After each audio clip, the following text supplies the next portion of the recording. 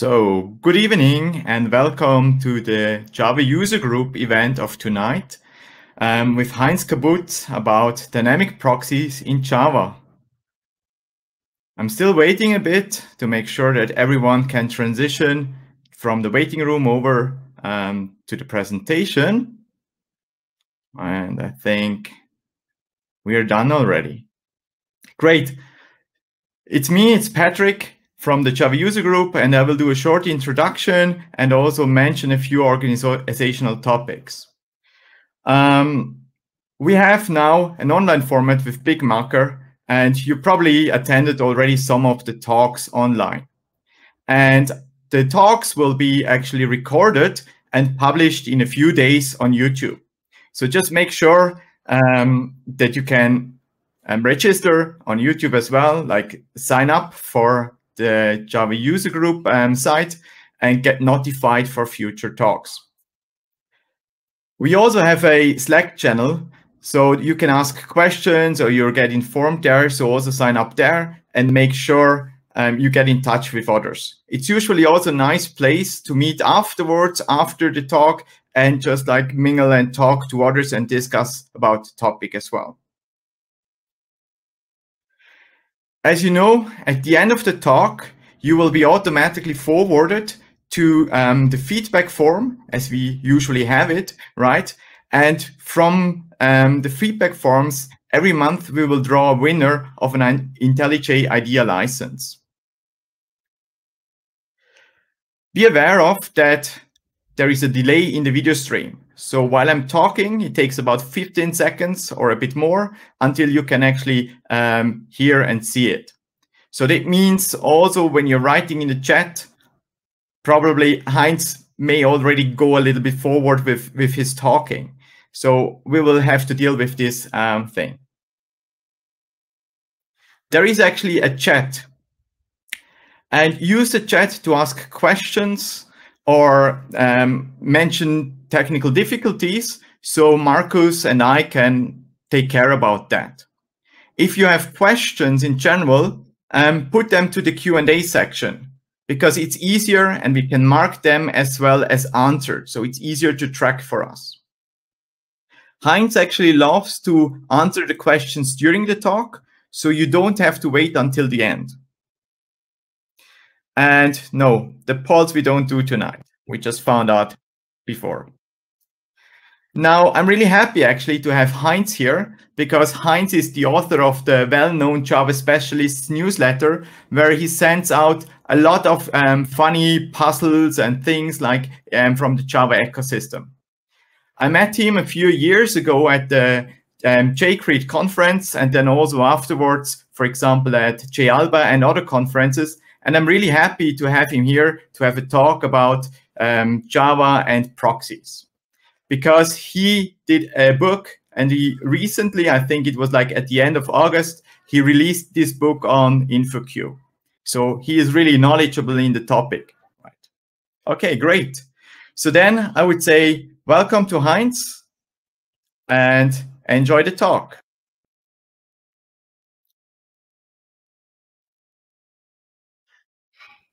All right. I thought there was going to be a, a 30 minute intro. I misunderstood you there. All right, let me share my screen.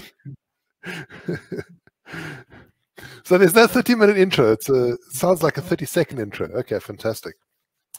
All right. So um, thanks so much for inviting me. Um, really appreciate it. I um, I, I tweeted uh, a few months ago that I'm very happy to speak at any remote event at the moment, and uh, and so Patrick kindly said, "Hey, you know, we've got Jug CH. Wouldn't you like to speak here again?" And I think I've, I've spoken with your group once or twice before. I've got this really cool pocket knife, this um, absolutely amazing Swiss pocket knife from which I got from I think it's from, I think it's from you from Jug CH. So um, good times, very good times. So um, yeah, um, so I'm I'm the presenter. I've got um, my wonderful friend John Green in the background. He's he's monitoring the um, the conversation. So if there's any any questions, he will send them to me on a different channel so that I can actually um, so that so I can answer them as we go through the through the talk. So I'm going to stand because it's easier talking when you're standing. Um, it's not just because you're then taller, which I'm obviously taller than I would otherwise be, but um, it's easier to concentrate when you when you're standing. Um, as we all know, right? It's uh, uh, we're more creative and it's easier. Also, speaking is easier when you're standing up. So standing is a bit easier. Um, now, with I want to talk a little bit about where these dynamic proxies come from. And they originally come from, um, well, the idea is the following, that sometimes we need to, to create um, code in order to build ecosystems. And um, a long, long time ago, there was a, a system called RMIC, uh, um, which would create stubs and skeletons in order to uh, manage remote method calls with RMI. Now, I don't know if anybody still uses RMI. If you do, you can post into chat. Maybe don't, because people go like, "What? You're still using that?" But it's an old technology. But um, even older is RMIC, where well, it's it's as old as RMI, but it's it's what it would do is it would generate stubs and skeletons in order to to manage remote method calls. And the the thing is that that um, it was a bit of a pain because you would write your code and then you'd generate the stubs and skeletons from remote interfaces, which was really quite quite quite annoying. Um, and what they did in Java 1.3, which is already 20 years ago, is they gave us the option of of generating all of these things dynamically with a thing called dynamic proxies. And the idea is that you you basically write an invocation handler. This invocation handler is used for all of the methods on the proxy. And so we didn't wouldn't really need to to uh, use RMIC or similar build tools in order to build our system. We would just define an interface, and an invocation handler would then run um, whenever any method is called. So this gives you abilities to write flexible dynamic systems. And it can give us great wins. So one example we had was um, quite amazing because there was lots and lots of generated code. You know, I did an analysis of the system. It was 600,000 code statements, which is, it's not 600,000 lines of code. It's probably about 100,000 lines of code, generated code. So it was a really big chunk of code. And this was all generated code from another language. So they'd taken another language, they'd converted it to Java. And that particular part was very repetitive. And so what we were able to do is to replace the entire 600,000 code statements with a single dynamic proxy. So uh, that that was a really big win, and all we needed to do is write one invocation handler and reuse it for hundreds or thousands of classes. Um, and so it's really useful to be able to to not have to repeat yourself, to sort of write the code once and then reuse it over and over again. So that's one of the many benefits of this dynamic coding. And it's used in lots of different infrastructure code and frameworks. You'll see it in Spring. Annotations are implemented as dynamic proxies. Uh, that's why annotations are actually interfaces. Um, and they're implemented as dynamic proxies when you use them in, in, at runtime. Um, dependency injection, Hibernate, Gradle, a lot of these, or all of these use dynamic proxies. And if you want to know which of your systems use it, I'll show you a trick that you can use to figure that out. Now, Patrick mentioned that I've got um, a book I've written. I've actually written two books on dynamic proxies. The first was a, a book in German with a friend of mine, and uh, it's quite good. But um, it was a long time ago, and I've I've done lots of revisions of that topic, um, and you can get it from here. And there's a new version coming out soon. I got uh, a foreword by by Brian Goetz, um, and that's going to be the second edition. But you know, you can get this in the meantime. Now, before I show you how to use these dynamic proxies, I want to show you how we can use, how we can write handcrafted proxies. In other words, how we can write them by hand. And the reason is before you automate something, it is useful to see how you would go about doing it by hand first. So that you, you've got some idea of of the process involved, and then we automate later. So, of course, you could use the IDE for generating all your code, and um, I'll I'll do that in the beginning. But in the next section, I'll show you how to use a dynamic proxy to do it instead, because using it, generating code with the IDE uh, is also kind of pedestrian. Um, and what I mean by that is we might generate the code, might have all this code generated, but then afterwards we have to maintain it by hand. And, and quite often the generated code isn't exactly what we really wanted. My example here is that of the virtual proxy. And the virtual proxy, the idea with that is that if we've got an expensive object, we, we don't want to necessarily create it immediately because we might never need it. It's a bit like um, my annual tax return, which I don't, I know I have to do it at some point, but always delay it for the last possible moment because all this paperwork and things to do. And I basically give it to my accountant. And when he says, okay, Heinz, we're going to do it now, then we do it. So it's, it's a virtual proxy. And, uh, uh, you know, maybe the world, world will end before I have to do the tax return, which will save me all the work of having to do the tax return. That's always my hope every year. Well, I'm not hoping that the world will end, but I'm hoping that something will happen that I don't have to do it. But it never happens. Always have to do it. They say the the two most uh, reliable things are death and taxes, unfortunately. But it's an example. You know, I've got this thing that I have to do. I don't really want to do it. So I delay it until later. And that's the idea of a virtual proxy. We've got this placeholder object, and we only create the costly object when we when we use it for the first time. So in the meantime, there's this just proxy, Stellvertreter, um, uh, substitute object. And um, so the example I've got is of something that's very similar to a normal map. The, I call it custom map because it's a slightly reduced version of the normal map. Um, I, I, instead of having like 50 methods, I only have six methods. Um, size, get, put, remove, clear, and for each. And this custom map, um, if I want to uh, have an implementation of that, I can delegate all of the method calls through to the through to normal hash map. So for example, here, um, I've made my custom hash map. This is my own little hash map. And inside I've got my private final map, map equals new hash map. And um, in the constructor, I print out that I'm constructing it just so we know when it gets constructed. And then all of the methods are delegated through to the hash map, right? Size, get, put, remove, clear for each, and toString all. Well, not all. You see, I've, I've forgotten a few, and uh, it's easy to forget a few if you're not being very careful. Um, so that's the custom hash map, and it's basically all delegating through to the actual hash map implementation.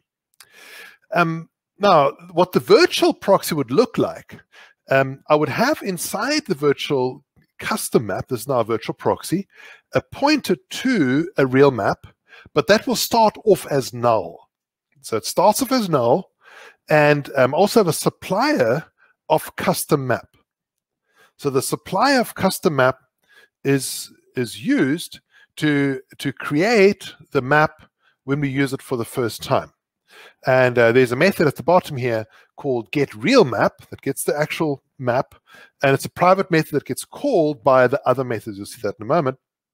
And here I'm constructing the real map on demand. So the first time that I call it real map will be null, and I'm going to call map supply.get, and I make this new map, and then I assign it into the field. And here I've got your your all the methods all delegate through to the get real map method. So just lots of delegation going on. Each of the methods simply calls get real map. And when I when I call any method on this virtual proxy, it's then going to call get real map, and that is going to then uh, create the actual map by calling the supplier. Right. So nice and nice and easy. And um, so the virtual custom map um, is made when when any method is called. It doesn't matter which one you called. Whatever you call is going to be constructed. So if you look here, I'm constructing a virtual custom map with a, a, a method reference that will construct a custom hash map. And so I print out virtual map created. And the moment I, I, use the map in some way, for example, I put or clear or set or get, whatever, then it's going to say custom hash map constructed. So it gets constructed when it's used for the very first time. All right. Um, so that's how you do it by hand. Now, dynamic proxies have the benefit that you write the code once, you can use it for any sort of uh, virtual proxy you might want. It could be for um, for hash map, it could be for Heinz's tax return, it could be for um, anything where you want to have something later created. You want to make a data source on demand. This is your friend. This will do it for you. One of the problems that we have, a problem we face all the time in software development is this copy and paste programming. So you have a you have a bug, and the bug uh, appears somewhere, and then you copy and paste the code, and now the bug is somewhere else. So and the bug sort of moves throughout the whole code base. Um, we actually had this with this presentation. Uh, John and I, uh, my lovely assistant, uh, we, we had we as part of my dynamic proxies book, I also wrote the dynamic proxies course, and um, and so I had one mis one mistake on a slide, and then I copied that I copied that that course to make a presentation, and I copied and pasted that mistake along with that presentation. And I eventually found I had about 10 different places where that same bug had been copied and pasted. That's always a problem with presentations. And of course, in source code, that's the problem because you fix one bug, but then it appears again in other places. We all know what this is, and it's a real pain. It's horrible. So a better approach is to either statically or dynamically generate the code. It's a much better approach. So here's how you do it. There's a class called proxy. It's been around since uh, for 20 years. And it's a proxy.new proxy instance. And we pass in three parameters. First of all, a class loader, where the new proxy class is loaded. And then a class array that contains all interfaces our proxy must implement. Could be more than one because we can, of course, implement lots and lots of interfaces at the same time. And then we also pass in a function interface, uh, invocation handler, and this is called when any proxy method is invoked. So you call the method, it goes through this one place. So it all goes to one place. And uh, invocation handler, this is the function interface with a single method called invoke. This is called when any method is called on the proxy. Uh, it contains a method called invoke, which has three parameters. The first parameter is the dynamic proxy class that is calling invoke. So it's the actual instance of your dynamic proxy. The second is the method, the class, the, the method that's being invoked. And I'll show you how we get that. And then the third is an array containing all the parameters right? And the array might be null. So if it's a method that doesn't have any parameters, the array is null. So it's not going to be an empty array, it's just a null array. Oh, something else which is interesting is the method is going to be one of the interface methods or equals hash code or string, one of those three. So, and because those are those are public non-final methods on objects, so it's the interface methods or one of those three. And if you remember when we did the cust the, the virtual proxy, uh, by hand, we forgot to implement those three. So if you said two toString, you would see this virtual custom map. You go, what's that? What's this virtual custom map? You, would you'd, see the default toString method. You wouldn't see the actual method you would expect to be to be calling. All right, so um, I want to show you an example of a logging invocation handler. And uh, the way that it works is we want to log every time we go into method, entering, and we leave exiting, and also optionally measure the time, how long it takes. So the way that it, oh, hold on, um, forgot about this. Um, okay, sorry. Uh, so Patrick already introduced me very nicely, and I certainly can't do anything nearly as nice as Patrick did, but I've got a present for you right? Last time I went to Switzerland, I got this amazing pocket knife, and I've got something back for you, which is if you look at the top there, tinyurl.com slash jugch911. thought a nice, nice car. I thought put that in there. Then you'll get a little gift. Now that gift expires um, about an hour and ten minutes from now. So if you're watching the live stream, you you made the effort on a Friday night to come and watch the live stream. You're getting it But if you're watching the recording, well, you're not going to get it. So unfortunately, that's how life is. Next time, go to the live event and you can get whatever gifts they're giving away.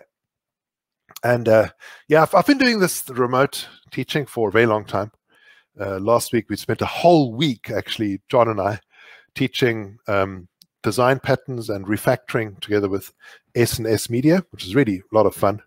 Um, so if you'd like to know more about my online courses, send me an email. I'm happy to hear from you. And don't forget to get that uh, that gift. Uh, gift as in a present, not gift as in the the, the German gift. and I had a Swiss friend in South Africa who made that mistake. He sent a, a packet of of some food from South Africa to Switzerland, and um, as the description he wrote on the gift, and it was dried meat from South Africa. They they eat that. It's a bit like beef beef jerky, but just a bit more unrefined. And uh, his parents got this parcel from their son in, in South Africa, and it said on their description, gift. Uh, was, was schickt der Junge uns denn jetzt? And they looked at it and they opened it up and they couldn't figure out what that stuff would, would be. They tried to boil it, they tried to plant it, and they couldn't figure it out with the name gift. So it's not that type of gift, it's it's a present, right? So enjoy it. All right. Let's go back to our logging invocation handler. And we want to log all the method calls and optionally measure how long they take. So when you pass construct, we'll have the, the, the logger and the object that we need to delegate the calls to. Now, it's very important that the object that we pass in implements the interface or interfaces that we that we want to um, or that we're proxying. Otherwise, you're going to get an get an exception. Um, and uh, this is what the invoke method looks like. That's the most important part here. Um, again, three three parameters: proxy, method, and args. And there are two things I haven't mentioned before, but I'll just mention them now quickly. Um, invoke returns objects, so it can return anything from that method. But you'd have to be careful because what you return has to be compatible with the actual method. Otherwise, you'll get exceptions. Uh, it also throws throwable, and again, you could throw anything. You could throw a checked exception, but again, you have to be careful that what you throw um, actually is compatible with the method signature. Otherwise, you're going to have a problem. And I'll explain why that happens in a moment. So here I'm just printing something, logging, entering, and logging, exiting, and and I've got an, opt an ISID optimization here um, where I, I figure out what the log level of is. If log fine is true, um, then I measure system nanotime because that's uh, not not a very quick call. Um, otherwise, I don't I don't do that. So um, I only measure the time if I've got log fine enabled. All right, and then the toString, I'm not going to spend too much time on this. This basically just prints out the class name, the method name, and the parameters, if it, if there are parameters. So here I've got my my uh, my map, and um, if you look carefully at this, I'm saying proxy.new proxy instance. I'm passing in the class loader of map. So what is that? Class loader of map. What is that? The class loader of map is your Bootstrap class loader. That's the that's the class loader that's loading all your JD, JVM, JDK classes. so the the system, the, the class that belong to your to your virtual machine are loaded with your Bootstrap class loader. The classes that are loaded with that's loading the class loader which is loading our own classes is the system class loader or um, application class loader. There are different names for it. Um, and it's important that the class loader can obviously see our interface. If it can't, then it won't be it won't work. So the way I normally do it is I use the, the same class loader as that of the interface. So that's why I'm saying map.class.get class loader, and then I pass in a class array containing only the map.class. And because it's a class array, I could have several um, interfaces here, but I'm just going to have one. And then I've got my logging invocation handler, which is my um, the one I showed you a moment ago, with a concurrent hash map. So of course that implements map. So if I call any method on map, it's going to delegate that through to the concurrent hash map, but measure before and after to see how long it took. And there's my output for the first method, for put, before and after, and also the time. All right. Now, I find it useful to look at how things work, to sort of open it up and peek inside and what's actually going on here. And uh, we're going to start with a, a simple interface called ISO date parser, which takes a string and returns a local date, throwing a parse exception. So this interface um, is very simple, just one method. And if I if I if I load that with the with the if I create a dynamic proxy with that, and I say proxy new proxy instance with the class loader of the ISO date parser, which now is the system class loader, and the class array, which contains ISO date parser. Oh, see, there's a question. Ah, yeah, good question about from Christian. Thanks. Um, dum, dum, dum, okay. So is this the same get class loader for Java modules, Java 9 plus with modules? so when when I wrote the book, the the the, the latest one that's now you know available, um, I was writing it and I thought, you know, it is 2019 when I started the book. And uh, I probably should just double check that everything that I expect to be working also works with modules. So the Java modules. And and so I started digging into that. And the more I dug into it, the more issues I found with uh, I wouldn't say with with the modules themselves, but rather with my code to work with the modules. It gets really interesting, um, uh, and I'll mention this again a little bit in a little bit when we talk about um, the naming of of of these proxies. Because here, when I was saying get class loader, um, and and I'm and I'm constructing this new class because the dynamic proxy is actually a new class. Given that interface, it's going to insert it into that class loader. Right, so here I'm going to write it into the system class loader, and the previous one I put into the Bootstrap class loader. So this it kind of seems seems dangerous to be able to inject a class into somebody else's class loader. However, the dynamic proxy class itself doesn't actually do anything. All it does is it delegates all the methods through to the invocation handler and that is not inside the inside whichever you know class loader you've injected it to. That's going to be in, in your own class loader. So um, and the modules basically are going to be a similar type of situation. Um, if, for example, I have an interface um, that's inside my module, but it's inside a packet which is not exported, you, are actually going to have a, have a different um, name and different package and different module where it gets constructed than than than otherwise. And uh, I'll show you an example of that in a little bit. It's a really good question. And um, so so, off, so with this with these modules, um, I then tried to get it working with um, IntelliJ, IntelliJ modules, and Maven modules and JPMS modules all working together. And um, luckily, I've got my my friend John uh, Green who who helped a lot in getting my sort of getting stuff like that figured out. Um, but that wasn't enough. It was two of us, and then then we got Simone uh, Bordet, Bordet, I think it was Simone Bordet. Oh, no, wasn't it? Was it him?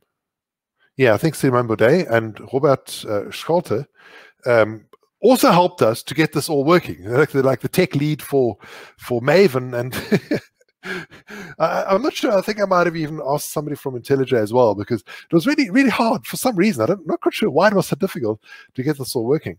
And um, and the samples are all available um, on on my GitHub repository, and um, and and on Maven Central as well. Now, for the next version of the book, which is ready, um, uh, John has sent me the the link, uh, uh the PDF. I just haven't had a chance to look at it yet to to proof it, but it is ready for publishing. Uh, the, the, the next version, um, but in the next version, we've we've split up our, our packages and modules were better, so that uh, you don't get unnecessary dependencies. Um, so it's it's it's a bit better.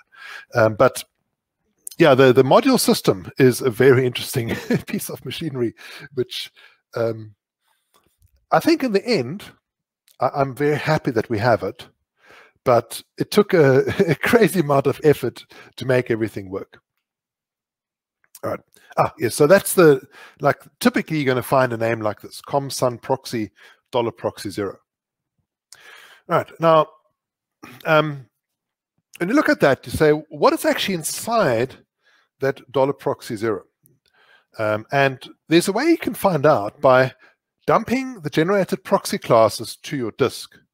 So this is Java, um, for example, Java 9 plus, you just say minus d jdk proxy proxy generated dot save generated files equals true. And then when you run it on your disk, you see all these different files. And, and so if you've got a system that you're using and you want to know, do they use dynamic proxies? You can actually do that. You can generate all the proxy files and you'll see what uh, classes are generated. But the, the classes do get reused. So if you've got multiple uh, places using the same dynamic proxy of the same interfaces, they'll all uh, be there, um, or they'll all share one one actual generated class. So you won't know how many instances of dynamic proxies you'll have, but you will know how many um, like combinations of interfaces are supported by or are implemented as dynamic proxies in your system. So that's uh, that's very useful. And then when you've got your generated classes, then you can decompile them with a tool like CFR. Now, of course, you need to make sure that wherever you are working, that you're actually allowed to decompile classes. be really a, uh, a, bit absurd if you if you weren't allowed to decompile classes that you compiled yourself, right? But um, uh, I, I, think one does have to be careful with things like that. Um, so there you go. CFR is a very, very nice tool for that. And here's what you'll find. Something like this. You'll see a class with a funny name like dollar $proxy zero, which extends proxy and implements ISO date parser. And um, so it's a final class, which means we can't subclass it further. And we've got four methods inside, M0, M1, M2, M3.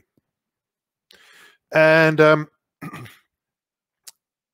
when we load the class, static initializer block, we set up all the methods, M0, M1, M2, M3. M0 is the hash code method. M1 is the equals method. M2 is the toString method. And M3 is the parse method from ISO date parser. Now, um, I've simplified the code a little bit. In the actual code, they use class.forName for each of the classes as well. Um, but I'm just using object.class rather than class.forName Java Lang object. It's a bit shorter, but if you look at the actual code, the actual generated code, um, it's a bit more verbose. In the end, we've loaded all the methods. And this is normal Java Lang reflection, nothing really special about that. And then um, the constructor of $proxy0 takes an invocation handler and simply passes that to the superclass. So there we go. And, and then we've got different methods like hash code and equals. And um, hashcode, um, what it does is I call h.invoke. So I'm calling the handler.invoke. This, the current dynamic proxy, comma m0, that's that method that we found earlier, and null for an object array. And um, then we return, we take the hash code, we return it um, as an int. Now, here's already a problem because if my hashcode function is a little bit complex, um, it can happen that uh, the integer object exceeds the size of my cached int uh, integers. And so it might happen that I actually end up with making a new integer object, every time I call hashcode. So it can happen that you have object creation because of the return type. It all depends how it's being used. Sometimes it can be optimized away, but not always. And um, right, equals is a, is a little bit different because here I've got a parameter that I'm passing into the method. So the parameter is wrapped as an object array or inside an object array. And um, so then again, the second thing is sometimes it happens that the object array has to be actually allocated. Um, sometimes it can be optimized away. It depends on how it's used inside your method. So that's something which one has to consider. Um, okay, so Oliver Z asks, I guess that's done with reflection. Um, the Does that also mean I have to export my classes when using Java 9 modules to able to, to able to use proxies? Um, no, it doesn't. Um, if you want to use proxies within your module for your interface which are not exported, that's completely fine. Um, you can do that. what it will do is it will actually generate um, a dynamic module. I think that's what it's called. I'm not sure. Maybe John, you can just double check that for me if you can. Um, I think it's called a dynamic module or an unnamed module maybe. But uh, what happens is it generates a module and loads that class in that module. So we can see that, but no one else can see it. So it managed all that for us, and but nobody else from outside could use our interface to make a dynamic proxy. Uh, so it, it does work, and it is managed quite nicely, but um, it's not something we have to to worry about too much. Uh, but it there is one there is one thing which can happen. Um, so one of the Java champions had a had a case where um, some code was using reflection to discover or to try to discover the method instances inside this dynamic proxy. And then what it was doing is it was trying to make these methods to be set accessible true. You might wonder why. I'll explain why in a moment. But that's what the code was trying to do.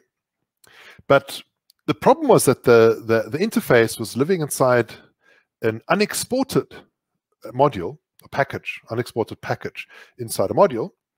And so um, the um, and, and so and so the, code that was trying to do the method um, set accessible true uh, simply got an exception. And of course, um, it wasn't it, it, was quite quite hard to get the workaround to be able to to then you know override that that that exception that, that security exception or illegal access exception or something like that. They managed to do it with I think Byte Buddy eventually, but it was it was quite uh, quite tough. Uh, the reason I don't immediately respond to your questions is that uh, is that there's this delay lag like a 30 second lag. All right. Um, And then two toString, very much like hash code, and I'll go to the parse method. The parse method takes a string as a parameter, and um, now we can see it throws parse exception. Now, something I haven't really looked at before is the exceptions. And you'll see that the toString method, for example, I say try catch runtime exception and error. And so um, if I get one of those, I'll just rethrow it. Otherwise, if I get throwable, then I'm going to throw an undeclared throwable exception. That's a runtime exception, an unchecked runtime exception. And in the parse method, the parse method declares that it throws parse exception. So there I catch runtime exception, parse exception, and error, and I rethrow those. But if it's a any other throwable, I'm going to wrap that and and throw it as an undeclared throwable exception. So this is something we have to consider. And if you go back just to um, a few slides uh, back to this code over here, there was actually a bug in this code. And uh, I didn't realize that there was a bug until quite late into the book. I was like, wait a moment, this doesn't this actually is not necessarily going to work. And the reason is the invoke method, this invocation and invoke, declares that it throws throwables. You can throw anything. But then inside there, I'm saying return method.invoke object comma args. I'm, I'm calling via reflection the invoke method on the method object. But that can cause an invocation target exception if an exception occurs. All right. And so if that happens, let's say, for example, you get a null pointer exception during your equals, it shouldn't happen, but let's say it does, then um, that's going to be wrapped with an invocation target exception. And then it's going to get wrapped again with an undeclared throwable exception that we see over here, this undeclared throwable exception. So it gets wrapped twice, all this exception being constructed. So I'll show you a trick how we get around that. If you have any questions, you're welcome to pop them into the chat and John will get them to me. All right. Um, now let's have a look at how we can make a virtual dynamic proxy because we've got the building blocks to build this thing. And um, here's my virtual proxy handler, which implements invocation and becomes serializable. And um, it's got a supplier inside, just like our custom, uh, just like our virtual um, custom app, and a pointer to the actual subject as well. And then when I constructed a pass in the supplier, as you would expect, and I've got this private get subject method, which is very similar to what we had before. Um, if subject is equal to null, then subject equals supplier.get. Um, and then our invoke method returns method.invoke get subject, comma args. Right, so I, I do the same trick that I did before, where I'm simply delegating to the actual object by saying method.invoke. And you might be wondering, didn't Heinz to say that there's a problem with the exceptions? Because if an exception occurs whilst calling the method, um, won't that be wrapped by invocation target exception and then wrapped again as an undeclared throwable exception? And if you thought that, then you would be thinking along the right tracks. So in my book, I, have I've got a bunch of I've got a facade that has a whole bunch of useful methods inside. And uh, for example, I've got a virtual proxy method, which takes as a parameter an interface and the supplier and produces a virtual proxy. And one of the methods is cast proxy. You see, there, there are a bunch of issues here. The one issue is that when I make a dynamic proxy, what is returned from the new proxy instance method is a plain object. You see, the dynamic proxy can implement lots of interfaces. You wouldn't really know which one to use. It could be anyone, right? So they don't know who to cast to. Um, in most of the times, I, I, only make dynamic proxies of a single interface. So um, I don't need to have the ability to support lots and lots of interfaces. Um, and so um, the cast proxy does a cast, first of all, to the correct type. so um, if I have custom map virtual proxy, it'll give, come back with a custom map, for example. Um, and then the other thing it does is it makes dynamic proxies faster. Uh, how does that work? I'll explain it a bit. I'll, when we get to the performance chapter, I'll explain why it becomes faster. But it makes them faster with the trick. And the other thing I do is um, if if an invocation target exception occurs, then I unwrap that and I throw the content of that rather than, than the invocation target exception itself. So, um, so this, this gives you the ability to get the correct exception back. Right, so uh, yeah, uh, it's right. I no, I unwrap the invocation target exception, and I, I throw the content of the, of the invocation target exception so so that it won't get wrapped. Otherwise, the invocation target exception would get wrapped by the by the undeclared throwable exception. It's like you know, wrapping, wrapping, wrapping, wrapping until eventually you get the final answer. All right. Um, okay, so we can create the virtual proxy of anything we want, right? Even your tax return. Okay, might not help much, but because you still have to do it at some point. But you could do a data source, anything where you've got an interface, you can make a virtual proxy of. And, and here, what I've done is I've made a, I just set proxy.virtual proxy, passing a custom map and a custom hash map. And it again works exactly like before. Now, that's the good news so far. There are some restrictions. Uh, the first restriction is that this only works for interfaces, right? And there's a reason because dynamic proxies all extend the Java Reflect proxy class. Now that might have been a mistake, but it is what it is. If you uh, if you want the, if you want something different, you need to use something like cglib, ByteBuddy, or do it uh, more manually. Since Java 15, we've got a, a mechanism called hidden classes. That's new JEP that's uh, that's just uh, been been implemented. So that's something new that, that you might want to use instead of this. But this is really convenient because it's super easy to make a dynamic proxy. The other ones need a bit more, bit more work.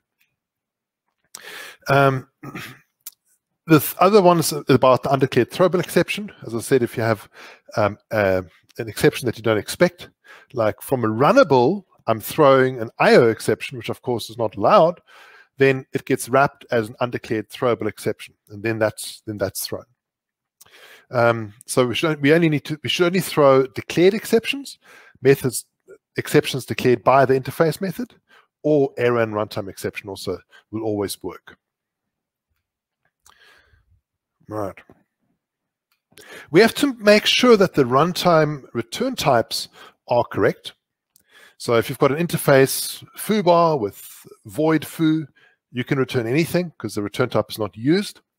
If you've got a Boolean, it, it, needs to be Boolean. If you pass in, for example, an int like 42, you get to get a class cast exception. And um, int baz return null. Well, that's going to give you null point exception, as you probably expect. So it's a bit, you know, it's, it's a little bit of a pain. It's it's a pity that they don't have the ability to have um, the actual values coming back like you like you do with with method handles. But it is what it is. The the Java lang reflect method predates um, method handles by quite a few years, so we didn't have that option. All right. Um, when I was writing the book, I um, I felt really nervous about it because um, one of the problems I, I have is uh, is I right, when I go to conferences, I, I am I'm, I'm walking around and I, I want to talk to people because I'm at the conference to meet people, and I'll walk up to somebody and I'll say, um, "Hi, um, I'm Heinz," and you know, in the days we could sort of shake hands. Remember those days? And, we, and I'd offer my hand and say, "Hi, I'm Heinz Heinz Kabutz," and they'd go like, uh, "Yes, uh, we know who you are." I'm going like, okay, great. Um, that's nice. Um, but in my mind, I'm thinking, but I don't, I don't know who they are. I mean, I would love to meet some people. Um, and it's, it's really, it's really a problem um, when you when you're too recognized in a in a in a like a conference because you don't get to speak to anybody except maybe some other speakers who who you know as well, right?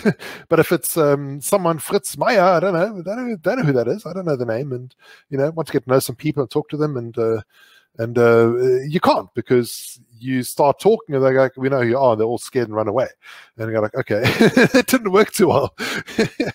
so, um, so when I was writing my book, I, I sort of had a had a real fear because I thought if I publish something terrible people are going to read that and go, "This is this is really bad. this is a really bad book.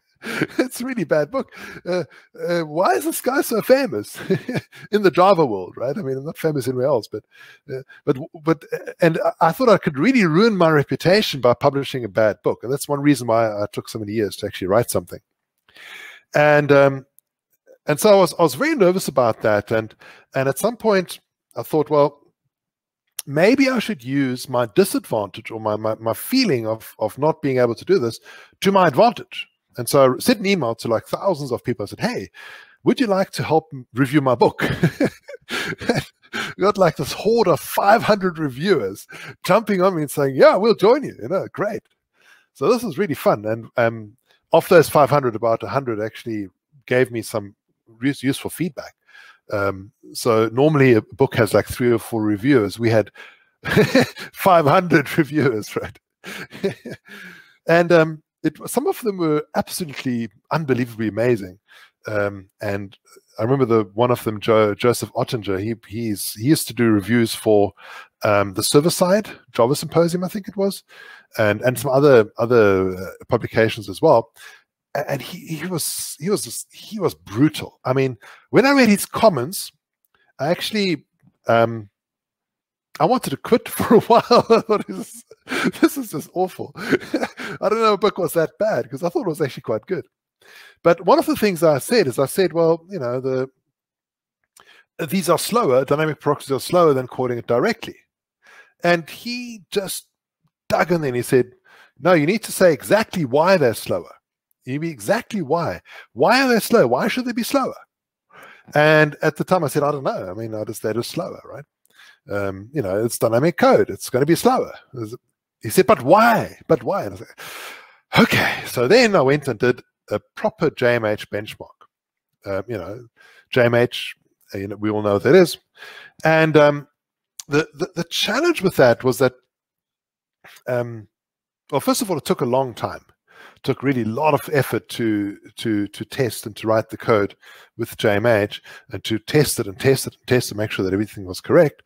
Um, and there were a few things which we noticed. For example, return types and parameter types, uh, parameters might be boxed. So that, of course, converted from into to integer objects. And that, of course, will slow us down. Um, parameters get wrapped with object arrays, and they can be eliminated sometimes, but not always. Um, and then the third one was that methods have this amnesia, and they check our permission on every call. And uh, so basically, every time you make a method call with reflection, it says, uh, "Excuse me, who are you?" I'm going like, uh, "I'm Heinz," and they go, uh, check, check, check, and they say, "Ah, yes, you've got permission to call this method," and then you can call the method. And then the next time you go again, say, "Hello, I'd like to call the method." And go like, uh, "Who are you?" I'm Heinz. Oh, okay. Check, check, check. Oh, yes, you can call the method. And this slows us down. Um, and so the trick that I used was um, I, via reflection, I went and and found all the method objects inside all the dynamic proxies. Well, the ones that you registered with that, where you said cast proxy, and then I set them to be accessible true. Now, the methods are public anyway because, well, it's a interface. So interface, so uh, the, dynamic proxy is only, only, going to be uh, implementing methods which are uh, public methods. It won't implement the private methods of interfaces. Um, but they all are public anyway. So making these methods public, set accessible true, doesn't really harm us that much. Um, and um, what I did was I would I would basically if, if for some reason it wouldn't allow me to do that, I would simply just silently ignore that and, and just just move on. Um, and and this making accessible true makes makes quite a big difference. I'll show you the performance in a bit. So I spent a lot of time um, writing this performance code, and and and then afterwards, uh, Joseph gave me the thumbs up. Said, "This is now it's good. Now I can actually, you know, not just do hand waving and say, well, it's slow because it's dynamic code, but you can actually see why it's slower, rather than just explaining, you know, it must be slow because it's dynamic. That's no good excuse. So I've got a worker the work has an increment method with a long counter, which simply gets incremented, and consume CPU, which consumes just a tiny bit of work. You see, the overhead is, is actually quite low with these things. And if you give it any more work to do, you won't really be able to tell the difference between the various approaches. And then um, I have five different types of method calls. The first one is a direct call, I'm calling it directly on the actual real worker, right? Calling the methods on that. And I'm calling the increment here. Then I've got the static proxy. I've got a handwritten proxy. I've got a dynamic proxy direct call.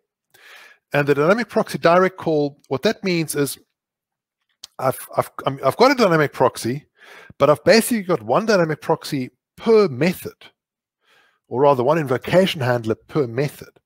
In other words, it's not correct. it doesn't matter uh, what method you call on the object, I'm always going to call increment, for example, or I'm always going to call consume CPU. So the dynamic proxy direct call is not a correct implementation. It's just for comparison to compare um, where where the performance gets lost. And um, and then I've got the dynamic proxy reflective call that's using normal reflection. And turbo means that that I've got the that I've got and set set accessible true on the method. So call this method turbo boosting. Um, and then with our turbo boosting, you see it, that's that's another another timeline here. Now on the rightmost column, you'll see bytes per operation, EA escape analysis on and off. So um, bytes on, uh, so you can see that direct call and static proxy don't, don't make any objects because it's just a just a long. There's no object allocation at all. But the direct uh, dynamic proxy direct call um, since Java 14 would would also not have any object allocation if you've got the escape analysis on. Now the times are with the escape analysis on. Um, now the, the, the, the, figure that's really interesting is the one dynamic proxy reflective call. So that's your with turbo on. So you see 9.7 nanoseconds, um, and it allocates 24 bytes. Doesn't matter if escape analysis is on or off, it always allocates 24 bytes. So when we do a comparison, we need to compare the 3.5 nanoseconds for the static proxy with the 9.7 nanoseconds of the reflective core. And it is a big difference, but don't forget that the well, the actual operation is, is is nothing. It's like long plus plus. It's it's really, really little. All right. The consumed CPU, here that's a lot closer because you don't have object allocation. So there's no object allocated. And um, you can see that the direct core is 4.8, static proxy 5.5, and then I'll skip down to the dynamic proxy reflective core turbo is 7.6. So you need to compare the 7.6 with the 5.5. So it's about, that's 2.1 nanoseconds slower. So it's it's really, really close with, with this one. And, you can see that the, the total overhead is 6.2 for the increment, uh, but part of that cost is the object allocation. And then 2.1 for the consumed CPU. It's very, very little. And um, in a typical business application, that's hardly going to be no noticeable. You know, if, if you're doing a, a, online, you know, like a, a, high frequency trading, you're not going to do it like this anyway. So it's not going to be a problem. Um, one of the things I've always said is that um, a lot of the patterns are closely related, and I call them the design patterns cousins. Um, and the the proxies, the structure of the proxy is very similar to that of the decorator or filter and object adapter and composite. So what I did in the book was I I went and implemented uh, different mechanisms for, for each of these patterns as well, because um, it can be very useful to do that.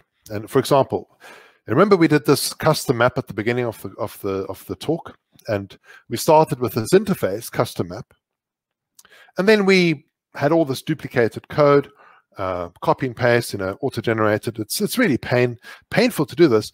Um, luckily, the IDE can help us, but when you see the IDE helping us too much, we realize that maybe we shouldn't. Maybe we should find a different way to not have to do it with with at all. You know, and um, and so a lot, lot, lot of um, lot of duplication here. So what we can do, I've written a dynamic decorator and all you do is you say proxies.filter, and you pass in a custom map interface and the hash map. Now I'm using, I'm, I'm leaving out lots of lots of information here. There's like a whole chapter on this in the book, because when I do that, when I pass in an interface and an unrelated class, you can't just match. You can't just do method.invoke on the object. that won't work because the get method on custom map is a different method to the get method on the hash map. So two different, completely different methods. So they're not compatible. So what I did was I wrote something called a V table, which is a fast match between different methods. And so when you call the custom map, it then finds the method with the same signature in the hash map and calls that instead and um, it, it, even manages, uh, uh, for example, um, default methods, which is quite difficult because the default method is automatically implemented in the dynamic proxy instance. But then um, what happens is when you uh, when you call it, you're calling the the dynamic proxy version, not the one in the interface. And um, yeah, in the book I've got a way of how, how to do that, which which is quite fast, um, but it's quite complicated. Um, and then another thing here, I'm, I'm, making a virtual proxy of custom map in the second example, which takes a, a, a filter that makes this custom hash map. And if I want it to be thread safe, then I simply make a synchronized proxy that points a custom map and virtual proxy and filter. Now, at the moment, I, I, I haven't really made the cascading easier. You, one could um, probably do something to make it so we don't have to repeat custom map.class over and over again. But for now, I've just left it like that. Um, that's the end of my, my talk. Um, so the thing is, do we have any questions? Um, and don't forget to get the gift, the present, das Geschenk, uh, tinyurl.com slash jugch911. And um, if you're not on my newsletter, you're welcome to subscribe. Um, say hello at Java Special, hides at Java and you can get the book if you want. So, 30 seconds of silence whilst I wait for any questions that might pop up. we had some questions already. There's something I wanted to show you, but it wasn't a different talk. I took it out of this talk. Um, and that was the naming of the the naming of the classes. Um, so if your if your interface is package um, package access, so it's declared inside a package, it's, uh, but it's not public, in other words, then it's going to have the same package name, your dynamic proxy will have the same package name as your interface. Um, that's the first restriction. The other, other thing is that if, if it's inside a module, it's going to be, and it's not exported, it'll be some other funny name. Uh, in fact, I've got an example. I'll just run that and I'll show it to you. You'll see it.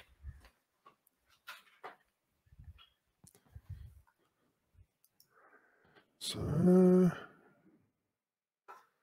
can find that. It was under um, not that one, this one. So samples, chapter three, proxy name. No, not that one. Gotchas, proxy naming. So this is the idea, is we've got um, an interface-based component. The base component interface has got um, is, is a public interface and it's exported from this module. And um, so that one is going to be um, in the com.sun, I think com.sun.proxy, something like that, naming. If you run that, you'll see the output.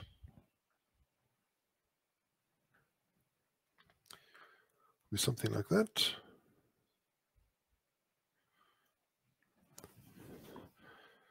And uh, yeah, so it's com, com.sun proxy dollar proxy zero. It doesn't have to be that. It can also be something else. But um, th that's what most of the time you'll see. Um, and then the com.sun, the second one is a public interface, this one here, but it's not exported from the module. And then you get this sort of a dynamic I think it's I'm not sure what this this uh, module is called that that lives in, but it's it's a module that's I think it's an unnamed module or something like that. But from outside of this module, you can't see that at all. It's really hidden away from you. And then the other one is is a hidden class, which is package access that's going to have the same package as as the interface. So it's EU Java Specialist Books Dynamic Proxy Samples CHO3 Gotchas. So there's a question I saw uh, from Patrick Reinhart. Hi, Patrick. I was actually wondering if you were there. I thought, I'm sure Patrick's going to be there. Patrick is famous for adding transferTo to Java. Thanks, Patrick. I love that method. Um, and many other things too, not just that. So is there a dynamic method variant for the invocation handler? Unfortunately not. Unfortunately, don't have that option. It would be nice to have that, also to have sort of the method handle supported directly in there, because that then you could make it as fast as um, as, as calling it directly. But uh, no, we don't have that, unfortunately.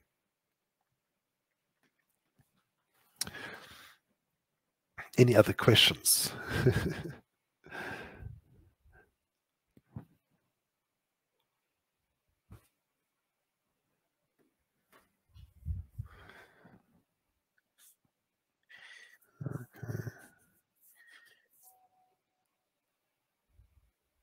Sounds like weird silent, Heinz.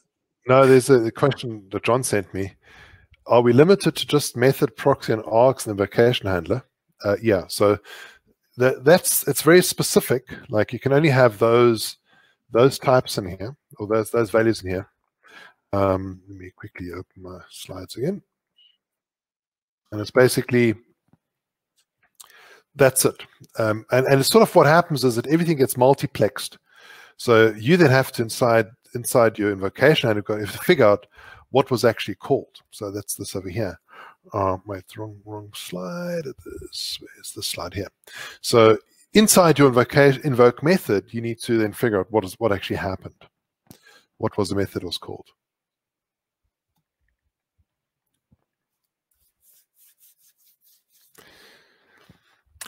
Right, so Friday evening. Friday evening, no more questions. Yeah, seems like everyone is already like having their Feierabend beer and enjoying. so, so how is Crete during these days? It's wonderful, except except we have um, we've had lots of cases in Chania so, well, lots, not not lots like you know, like one or two per day, but that's a lot for us. And so they've they've basically shut down the whole city. Um, uh, now it's it's stabilized again, but um, it's it's wonderful. I mean, yesterday we spent the day on the morning on the beach and swimming here, just where I'm sitting here. I'm not, you know, and had lunch in Kalathas. So it was really nice, uh, fantastic. But um, the restaurants are really suffering. Everybody's suffering because Crete, you know, you you probably heard about the Greek catastrophe catastrophe a few years ago, um, and at the time when the whole of Greece was just suffering like crazy, Crete was okay because we had lots of tourists. so now, now we're completely messed up. I mean, it's really bad, really bad. Because I mean, without the tourists and the tourists that have come have made us sick, so um, it's become really a problem. Uh, yeah, and also to, you don't want to go from Switzerland there because you probably need to go to quarantine afterwards. So that's also not fun. No, no. It's um, th- that's the problem. It's just traveling around at the moment is, is really horrible. But it's it's always a you, you know, Patrick. The funny thing was um, last year, um, last September, October. I decided I'm going to write a book, and I was actually I was going to write a different book, not this book that I've written, and um, and I said to myself, I'm going to dedicate this year to writing a book. Um, so I decided I'm not going to accept any conference invitations for 2020, not one. and the only one where I was really tempted to go because my daughter wanted to go there because um, well she she liked it the last time I went was Voxxed Milan. That's the only one which actually which was in April or March or something. And like at the last minute I said, no, you know, I know I, I I know she wants to go, but let's let's not go this year. so, I mean, I've, obviously I've lost flight flights and stuff. You know, I mean, I've, I've lost money. Obviously, everyone's lost money on this whole thing, but but um, it could be a lot worse. and I've, I've spoken a lot because, you know, I've spoken in Nigeria last Saturday, and then I spoke in Kenya, and I spoke in Bulgaria, and I spoke in, in uh, uh, uh, Serbia, I think it was. I've spoken lots of different places because, and places I've never been to uh, because of this. So, you know, there you go. There's always good and bad. yeah, exactly. And the nice thing is actually you can stay at home. Um, yeah, that's perfect. Actually, no traveling and um, horrible airports and so on. Yeah, but uh, you know, I, I really do like getting some supplies of Swiss chocolates and getting some, you know, getting some Schweizer uh, Schweizer Käse to take home, and I, I, do like getting my supplies.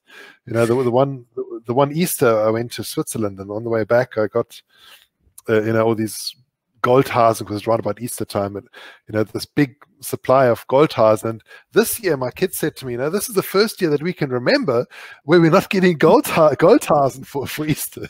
I said, "Well, you know, I wasn't I wasn't traveling at all, so no gold Goldhasen for Easter." For so Easter. May- maybe we can work on the chocolate supply. Let's see.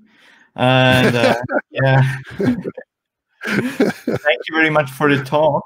Thank you very much for having you. And also me. thanks to all the um, um, participants. Just make sure, and sorry, Heinz, I'm now switching to the slides again, to mine. Um, yeah, go for it.